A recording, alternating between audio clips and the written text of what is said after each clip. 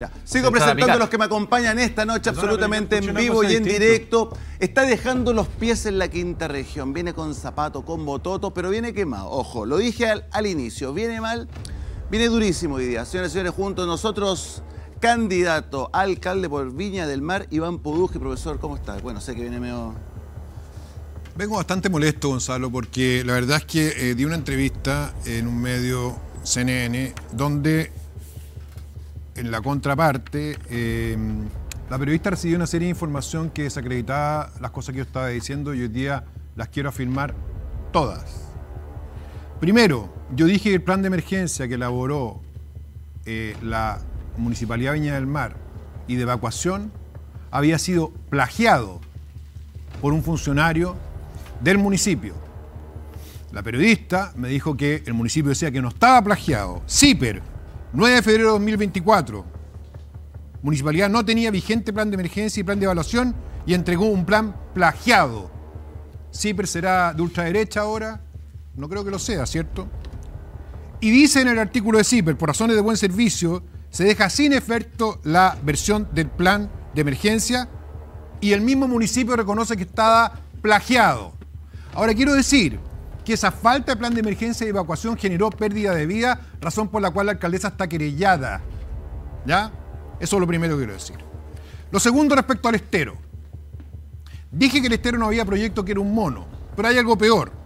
El 10 de mayo del año 2024, el portal Pura Noticia informa, Contraloría ordena sumario al municipio de Viña del Mar por trato directo para diseñar el proyecto del estero.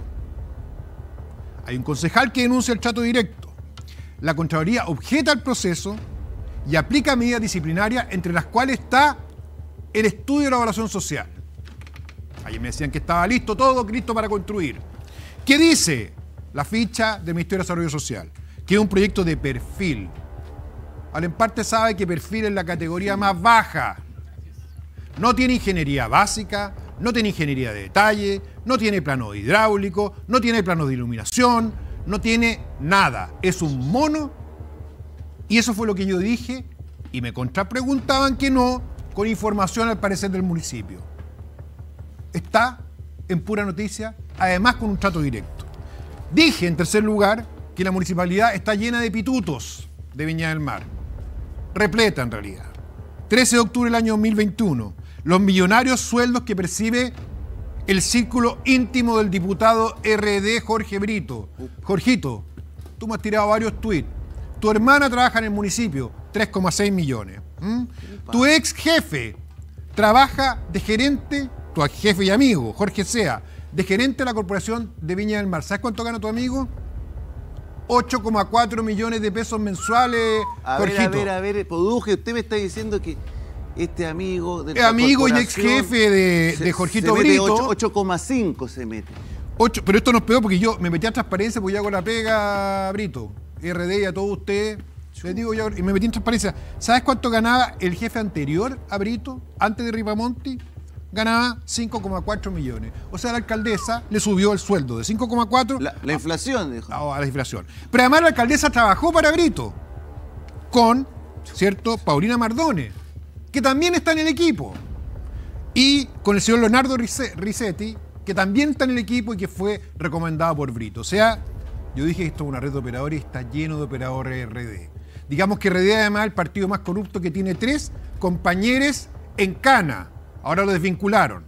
Giorgio y todas las cosas que ya sabemos. Municipio RD, estos son los sueldos que ganan. Y por último, Gonzalo. Una de las obras que, que la alcaldesa se, se jacta, de es el SAR Miraflores, que lo dice la periodista. El SAR Miraflores. SAR Miraflores, que es un consultorio. Me dice, no, me dice, pero acá la alcaldesa dice que el SAR Miraflores es una obra de ella. ¿Qué es el SAR Miraflores hoy día? Es un sitio eriazo con lauchas. ¿Y sabe por qué es un sitio eriazo con lauchas, alcaldesa Ripamonti? Porque estuvo tomado tres años el terreno. Tres años tomado, y como a usted le gustaban las tomas, y decía que eran parte del derecho humano, no hizo nada. Y los vecinos de Miraflores hicieron protesta a usted. Y estoy en contacto con ellos. Y por último, yo dije lo de la persecución. Usted tiene funcionarios con estrés por persecución política y uno de ellos cuestionó el contrato de las cámaras. Ingesmart ¿Le suena Ingemar, alcaldesa? Está cuestionado porque uno de los socios es amigo de Elizalde, están manejando las cámaras de Viña y usted no le cobró una multa de 40 millones. En resumen, Gonzalo, yo estoy partiendo nomás. Tengo toda la información y la información me viene de funcionarios. Está en la prensa y voy a seguir. Así que eso era Gonzalo. Oiga, Iván, espérese, hay un short suyo donde le preguntan sobre... ¿Lo tiene o no? A ver, póngalo, por favor. ¿Lo tiene? Búscalo, búscalo. Hay, hay varios shorts donde usted eh, le sacan las mejores cuñas, los mejores momentos.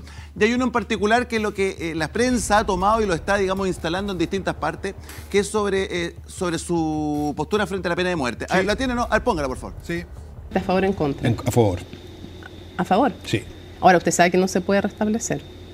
Bueno, pues yo creo que las personas que matan policías y que matan niños tienen que morir. Eh, que el Estado las tiene que castigar con la muerte. Eso es mi, eso es mi opinión. Sí, yo creo que una persona que mata a un policía, como mataron a este teniente, delante es un niño, metieron 15 balazos, esas personas tienen que ser juzgados y la pena de muerte tiene que aplicarse para ellos.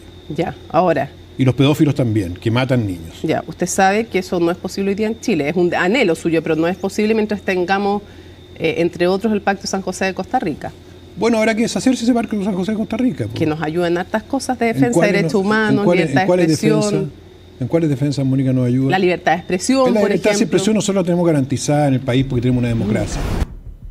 A ver, Iván. Yo quiero primero decir que reafirmo que los pedófilos que asesinan niños merecen la pena de muerte y deben ser condenados por eso. Quisiera que alguien dijera lo contrario. Reafirmo que un delincuente que le pega 15 tiros a un carabinero con su familia y después sale riéndose, también merece ser eh, condenado a la pena de muerte y serán los tribunales los que eh, absolverán. A mí me llama la atención toda esta escandalera. Y no tenemos escandalera con los niños que han muerto en el Sename por la red de pedófilos que está ahí, la red de pedófilos que tiene el Estado en el Sename. Respecto a los acuerdos internacionales, de San José que ya me enviaron abogados para decirme que Chile tiene pena de muerte todavía en sede militar y que por lo tanto esto es bastante discutible lo que, y me lo, me lo han dicho. Pero segundo, si nosotros consideramos que esos tratados internacionales, que dicho de sea paso, no lo respetan los países, ponen en riesgo, aunque sea un milímetro, la seguridad de los chilenos, nosotros no tenemos que suscribirlos. Porque lo más importante hoy día es la seguridad de nuestros compatriotas. Y no que un burócrata venga de una oficina internacional a decir que nuestros carabineros están violando derechos humanos si disparan a personas que están robando, asaltando o quemando. Así que reafirmo mis dichos y, es más, creo que sería bueno que se abra un debate sobre esta materia porque tenemos más de, no sé, 50, 60 niños que han muerto en manos del Sename en red de prostitución infantil y esos pedófilos merecen ir a la cárcel y merecen ser condenados a pena de muerte. Ahí está, Iván Poduje junto a nosotros. Les dije que hoy se venía fuerte, muchachos. que podríamos quizá instalar en la pauta, ¿ah? si nos queda algunos minutitos, eh, la declaración y lo que está diciendo Iván Poduje. Señoras y señores, junto a nosotros es el único político capaz de nadar en las aguas gélidas del sur de Chile. Karim Bianchi, senador, ¿cómo está? Buenas noches. Oiga, el bigotito, algo se está haciendo. Se quedó, se quedó. Sí, algo se está... Llegó para quedarse. Sí, sí. Bueno, saludar a toda la gente que nos está siguiendo. Karim Bianchi, senador, para que nos sigan en Instagram. Y quiero hacer un corte aquí en la mesa porque no comparto las acusaciones. Hay, hay varios municipios más que están siendo investigados en Contraloría y yo jamás llamaría a presionar a un poder judicial ni, ni, a protestar por lo que tiene que ser una acción judicial que tiene que darse en el marco de la investigación que tenga que darse. Por tanto, podremos compartir algunas cosas en muchos ámbitos, pero yo por lo menos no quisiera estar en un lado de que se sienta la gente que yo me estoy haciendo cómplice de ir a presionar a un Poder Judicial. Y en segundo lugar, a la Cámara 1 quiero decirle que estoy molesto, estoy indignado, es una inmoralidad lo que está ocurriendo en el Senado y siento lástima de ser electo en una posición que para mí es un privilegio transitorio en la vida, pero ver el nulo avance que está teniendo el Senado, cambiando de, tema, en materia de pensiones. ¿Cómo ha trancado el Senado eh, la discusión de las pensiones? Yo sé que están haciendo algo la bancada del PPD en, la, en la Cámara pero aquí lo que ha pasado es simplemente es no querer avanzar, no querer seguir un camino que es una necesidad para el país. Y déjeme decir a la ministra, usted tiene una herramienta, una herramienta para poder presionar si, si usted realmente quisiese avanzar. Por decreto se cambiaron cosas en el país y por decreto se pueden volver a cambiar cosas en el país. El tema de los multifondos, el tema de regular las pérdidas, no es posible que hoy día solamente las pérdidas la suma del afiliado y el resto se vaya a Islas Vírgenes. Y el otro tema que aumentaría inmediatamente las pensiones en nuestro país en más de un 18% es eliminar la famosa tabla de mortalidad que se instaló, que para ejemplificarlo es como una torta que tú la vas dividiendo en pedacitos. Mientras más pedacitos la divida, más pequeñita es la tajada. ¿Y qué es lo que pasa? Que eso le conviene a la FP porque la FP lo que le conviene es que ojalá se succione hasta el máximo, hasta el último día el cotizante y ojalá eso sea hasta heredable, cosa de eso tenerlo invertido en lo que ellos manejan como un negocio de capital. Por lo tanto, yo creo que hoy día la gente quiere gastarse la plata en vida. Y eso usted, ministra, puede hacerlo. Entonces, cuando a mí me dicen, y te lo dije acá en este programa, se votó el día del camélido, Obviamente que me emputecí con esa, con, esa votación. Y lo mismo hoy día me pasa con el día del pajarete, que se lo puede meter el presidente donde quiera, porque no puede darle suma urgencia al día del pajarete. Sigue teniendo urgencia. Entonces, se podrá mandar 10 litros de pajarete el presidente, pero no puedes ponerle suma urgencia a un proyecto cuando tenemos proyectos como este, con proyectos de seguridad, proyectos en materia de salud que están pendientes en este país.